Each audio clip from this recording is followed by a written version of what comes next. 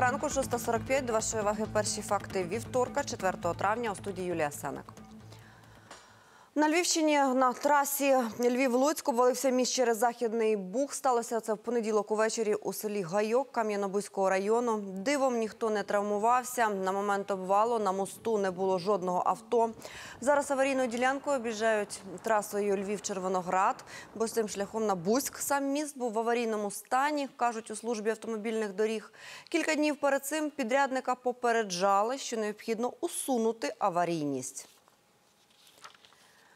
Окупанти продовжують обстрілювати українські позиції на сході. За минулу добу зафіксували три атаки. Стрілецьку зброю використали поблизу населених пунктів Піски та Луганське.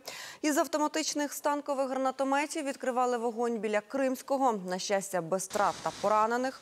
Про зухвалі порушення режиму тиші штаб повідомив ОБСЄ. 2700 нових хворих на ковід зафіксували минулу добу в Україні. Востанні такі малі показники захворюваності ми мали ще у середині лютого.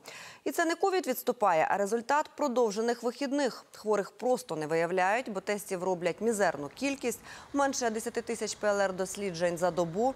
Найбільше нових інфікованих у Дніпропетровській області, Черкаській, у Сумській.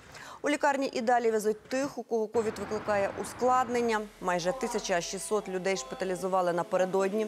Доведеться шукати місця у відділеннях. 154 особи врятувати не вдалося. Вплинув вікенд і на темпи вакцинації. За останню добу щепили усього 919 людей. Загалом одну дозу вакцини отримали 756 тисяч українців. У лікарнях Харкова критично бракує місць підключеним киснем. Если оставить дома, то это путь в одном направлении.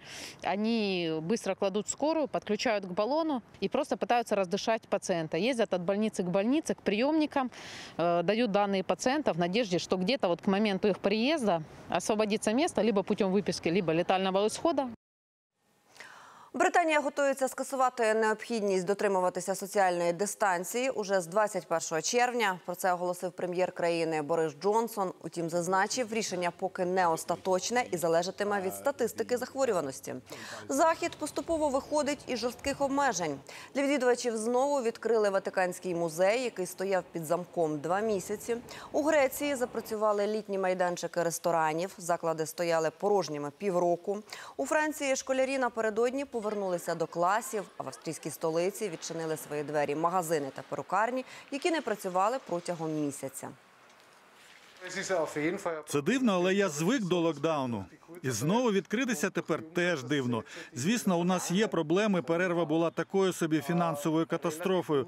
Але тепер, коли ми запрацювали, все налагодиться, та й держава допомогла. Засновник компанії Microsoft Білл Гейтс та його дружина Мелінда розлучаються. Пара прожила разом 27 років.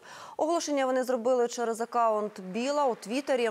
Там же запевнили співпрацювати у створеному ними доброчинному фонді. Обоє продовжать. Білл Гейтс – один із найбагатших людей у світі. Його статки за різними підрахунками оцінюють у суму від 130 до майже 140 мільярдів доларів. У пари троє дітей. Утім, Білл Гейтс раніше заявив, що не планує передавати їм своє багатство. Пояснив, вони матимуть можливість здобути хорошу освіту, але жити повинні на гроші, які зароблять самі. Сьогодні в Україні потеплішає. У день майже по всій території від 14 до 17 з плюсом, без опадів. Хоча може бути вітряно, бо із заходу насуватиметься невеликий дощовий циклон. Утім, сьогодні ще буде сухо. У західних областях від 14 до 17, на півдні лише трохи тепліше до 18. У центрі півночі та на сході переважно 13-15 з плюсом. Так само сонячно і без опадів з мінливою хмарністю сьогодні у Києві і у день 13-15 градусів тепла.